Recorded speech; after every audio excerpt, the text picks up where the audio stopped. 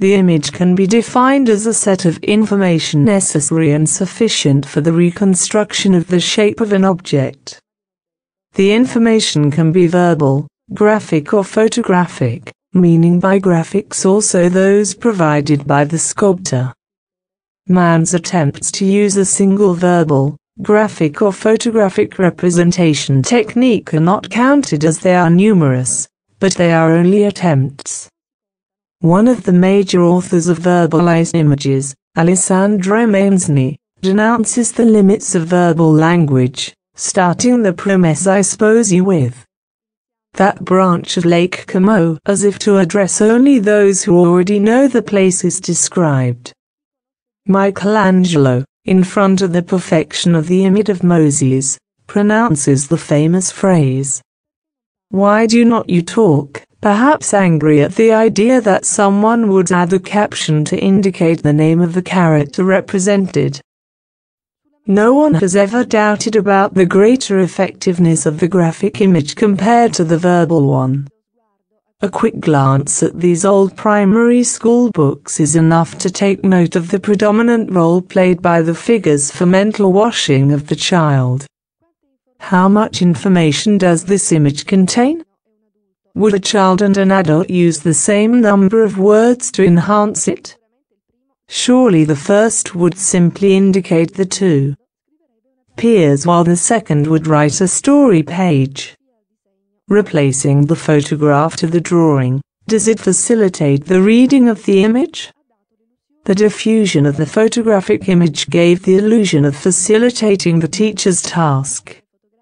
What probably escapes many is that the photographic image, unlike the graphic one, provides information that is also unsolicited and, more often than not wanted by the teacher himself.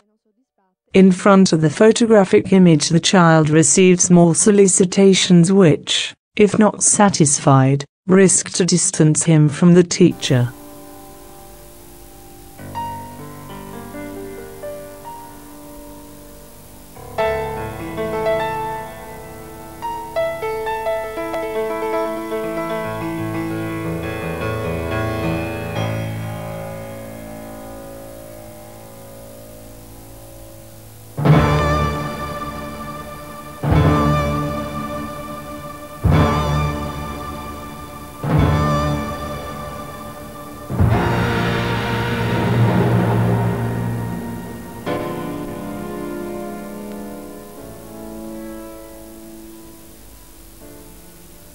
Add to this the high number of hours spent in front of the TV. Aside from the cultural formation that derives from it, one cannot neglect the child's awareness of the existence of a new language, which is unquestionably much more accessible, both graphic and photographic.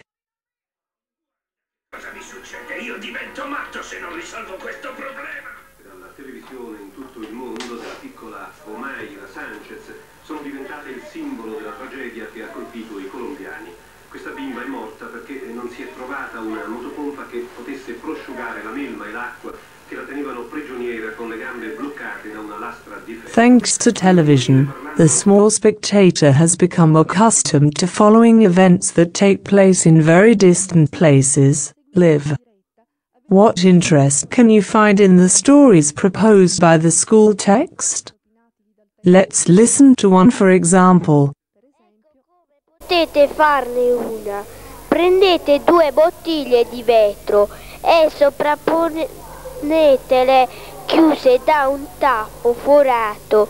Prima di sovrapporre rimettete fino a metà una bottiglia con sabbia ben lavata, ben asciugata e finissima. Non è facile però costruire una clessidra, difficilmente riesce alle prime prove.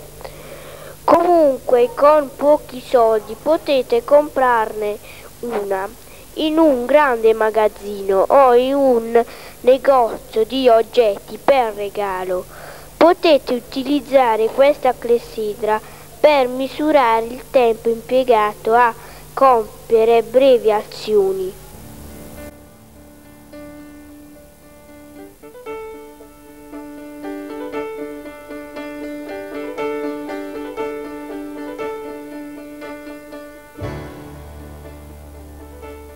Have you sensed that the suggested experiment will not have a positive result? For the study of the territory we continue to insist on the graphic representation. Probably to guide a reading, but here an old problem arises. Is it the teacher who has to adapt to the child or these to the teacher?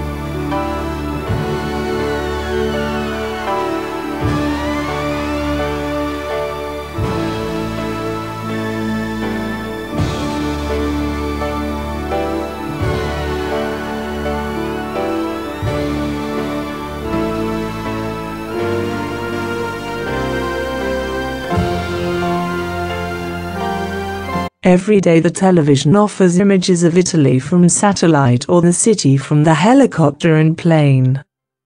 The most logical thing would be to add indications on these images. We are in orthophotography or photogrammetry. These representation techniques are known to teachers,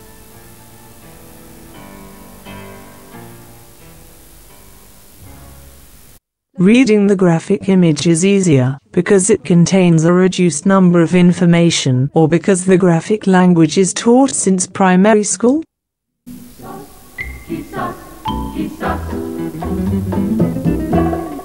million times I've asked you, and then I ask you over again.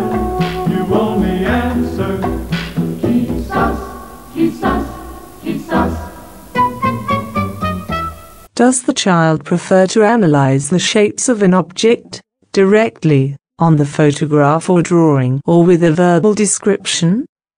It is possible to know how to read without knowing how to write. What does it mean to know how to read? Why do the primary school teaching programs not include the teaching of photographic language also with regard to writing?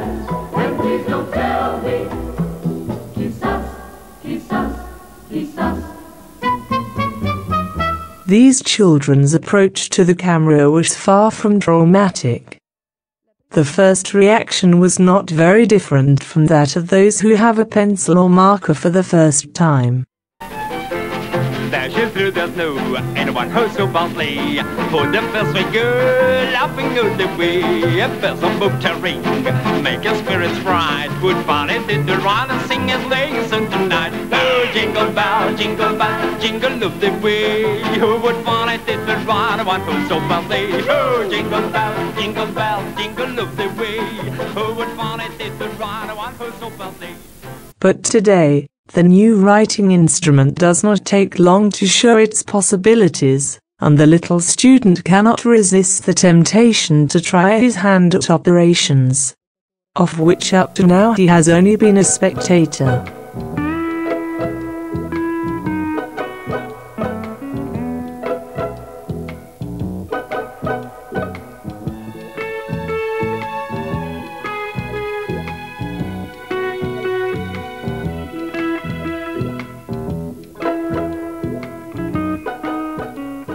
The connection of the video recorder to the television allows the whole class to participate in the shooting operations and to suggest any corrections to the framing and focus of the image.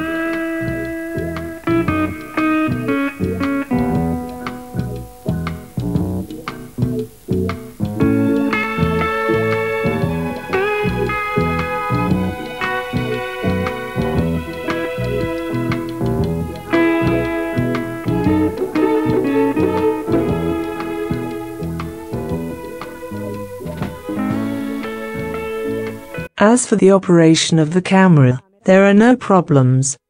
A red and a green lead worn, respectively, if the lighting is insufficient and if the recording is in progress.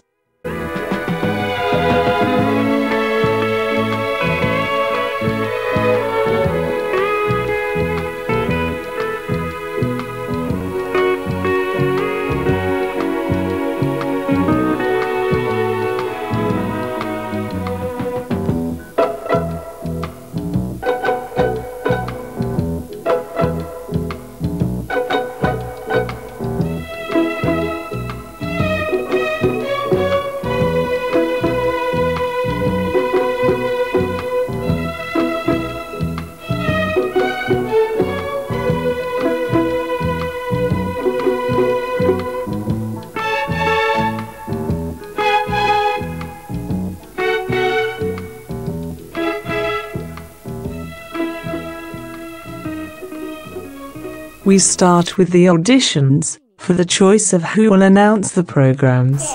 Speriamo di raccontare in.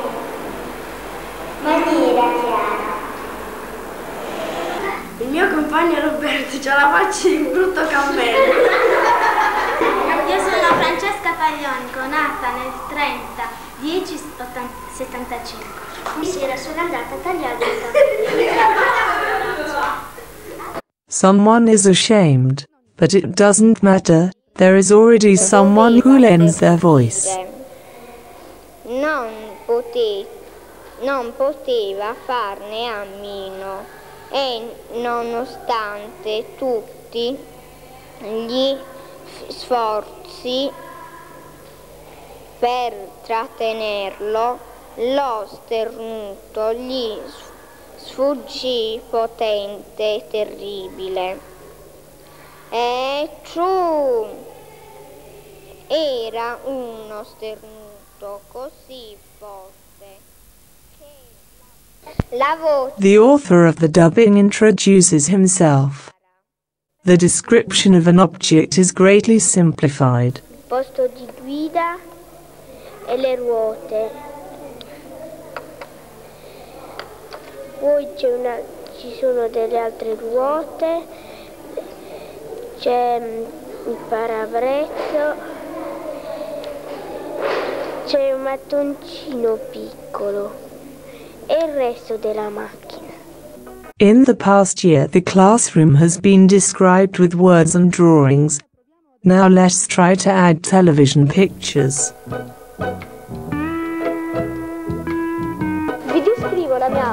Vista dall'alto. Essa eh, è illuminata da tre finestre, una a sud e le altre due ad ovest. Sulla parete a nord sono, sono disposti in riga tre banchi biposti. Sulla parete ad est, quasi all'angolo, eh, si apre la porta. Sempre su questa parete sono disposti cinque banchi biposti paralleli al muro. Perché non provare le interviste? A te piace descrivere l'aula con le parole oppure con le immagini? Perché? perché mm, ci possiamo soffermare di più sugli oggetti, sulle persone e poi si possono vedere più i particolari, si può ingrandire, si può vedere tutto insieme. Per te è più facile descrivere l'aula a parole oppure con le immagini? Con le immagini, Perché?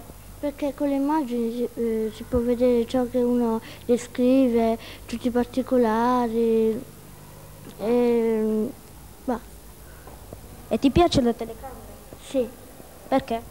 perché, mm, perché con la telecamera... To analyze the si può vedere traffic and everything outside the classroom, you no longer have to look in turns, but simply place the camera on the windowsill. How many things need to be corrected in the world of adults? Perhaps we should examine that of children. Here, too, the machines do not comply with traffic regulations. The hunt for mistakes begins. The model is detected with photographic images, which everyone can analyze at home, in order to be able to correctly reconstruct or restructure the small urban center. In the past year, the documentation center of Santa Scholastica was visited, and he became acquainted with the stereophotogrammetric survey. It is therefore possible to use it to archive the images of these houses, to make them known also to those children, who will not have the model in the next years. In the meantime, thanks to the camera, the Christmas performance undoubtedly made a qualitative leap.